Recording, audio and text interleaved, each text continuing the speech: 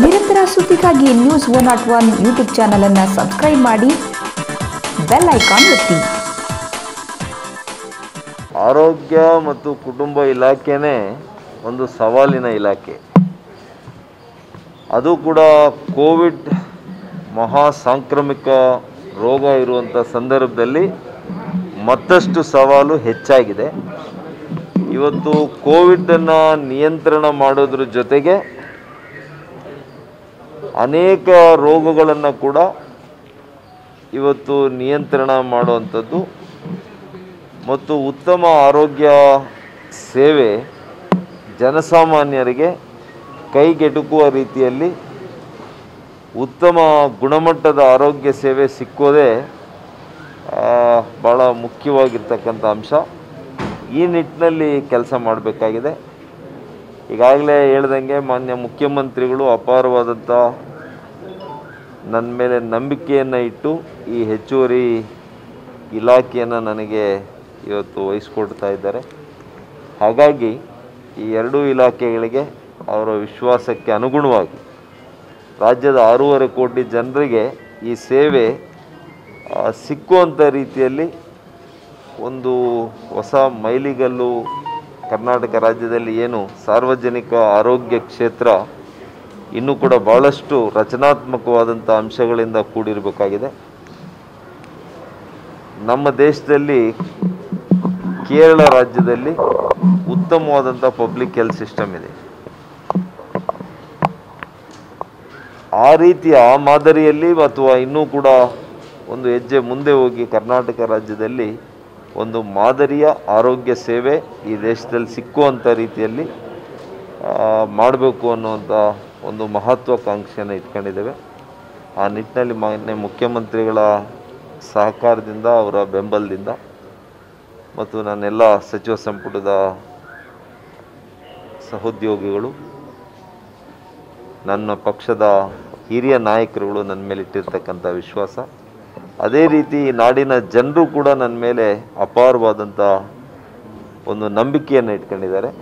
ಆ ನಂಬಿಕೆಗೆ ಪೂರಕವಾಗಿ ಇವತ್ತು ನಾನು ಮಾಡುವಂಥ ಕೆಲಸ ಭಾಳಷ್ಟಿದೆ. ಖಂಡಿತವಾಗಿಯೂ ಇದೆ.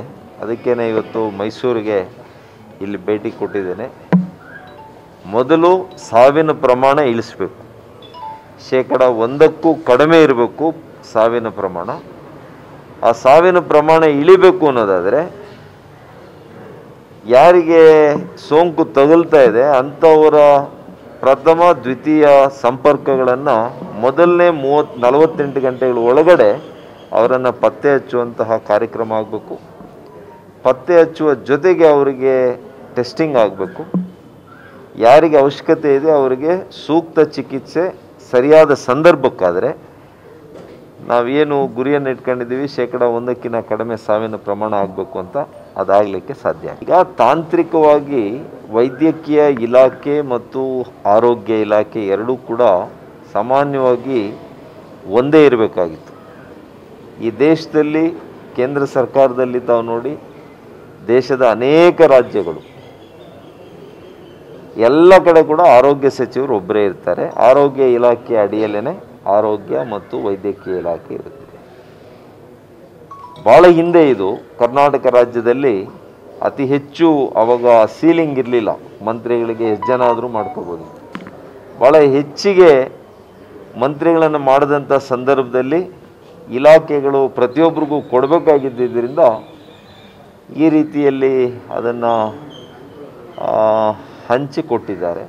ಅದೇ ರೀತಿ ಆರೋಗ್ಯ ಇಲಾಖೆ ಕೂಡ ಅವತ್ತು ಆರೋಗ್ಯ ಮತ್ತು ವೈದ್ಯಕೀಯ ಇಲಾಖೆ ಅಂತ ಎರಡು ಇಲಾಖೆಗಳು ಸೃಜನೆಯಾಗಿದೆ. ಅದು ತಾಂತ್ರಿಕವಾಗಿ ಮತ್ತು ಆಡಳಿತದ ದೃಷ್ಟಿಯಿಂದ ಸರಿಯಾದದ್ದಲ್ಲ. ಯಾಕೆಂತಂದರೆ ಇವತ್ತು ನಿರ್ವಹಿಸುವಂತಹ ಜವಾಬ್ದಾರಿ ಕಷ್ಟ ಆಗ್ತದೆ. ಮತ್ತು ಸ್ಥಳೀಯವಾಗಿ ಕೂಡ ಅಧಿಕಾರಿಗಳು, ಆರೋಗ್ಯ ಅಧಿಕಾರಿಗಳಿರ್ತಾರೆ. ಇವತ್ತು ಡಿಸ್ಟಿಕ್ಟಲ್ಲಿ ಡಿ ಎಚ್ ಒ ಇರ್ತಾರೆ. ಜಿಲ್ಲೆಯಲ್ಲಿ ನಮ್ಮ ವೈದ್ಯಕೀಯ ಕಾಲೇಜಿನ ನಿರ್ದೇಶಕರು ಇರ್ತಾರೆ.